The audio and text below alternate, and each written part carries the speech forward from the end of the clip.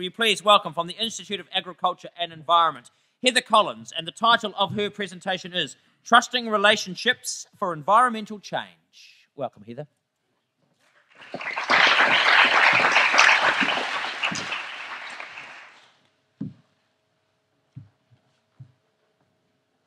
Jim's a dairy farmer. He's 58 and he runs the family farm with his wife, his sons, and their families. Jim cares about the environment, and every year he spends money on improving the farm's environmental performance.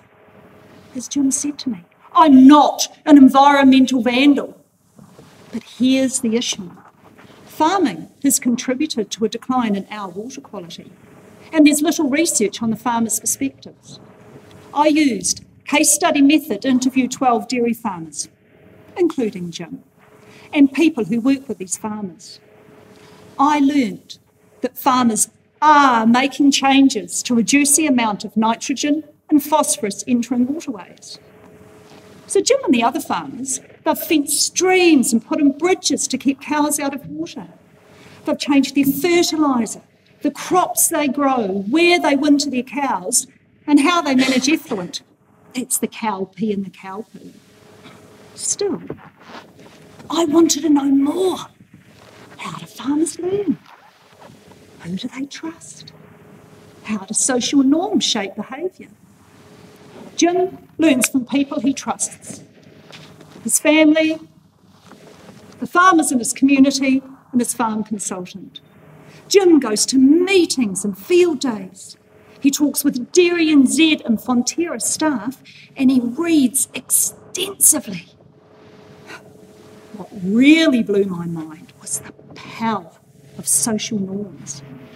Norms are our expectations of behaviour. They aren't discussed, but everyone knows what they are. Jim called them the unwritten code. Farmers accept that you don't put effluent in waterways.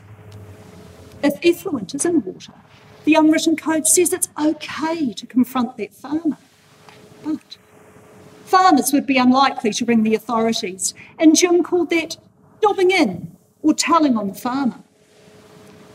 Dobbing in the farmer breaks the unwritten code and reduces trust between farmers.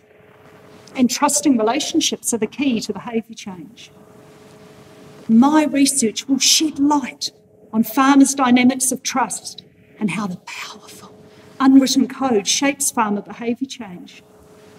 It will help policymakers and others work with rather than seemingly against farmers. So, next time you're at think of farmers like Jim who are making changes so we can all enjoy clean water. Thank you.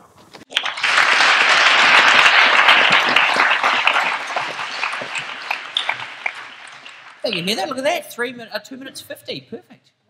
Judges.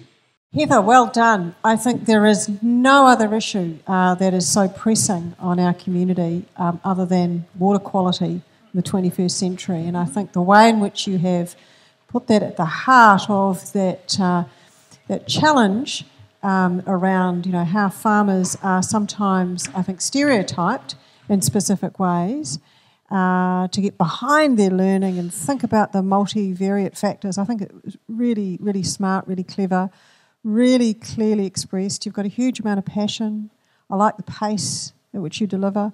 Uh, I'm a historian and I could understand what you're saying, so thank you.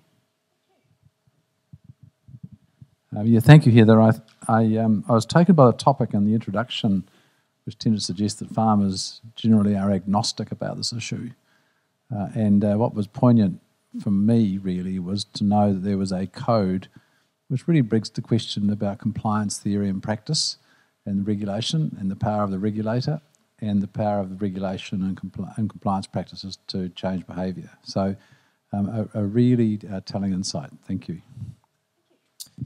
Ladies and gentlemen, a round of applause for Heather Collins.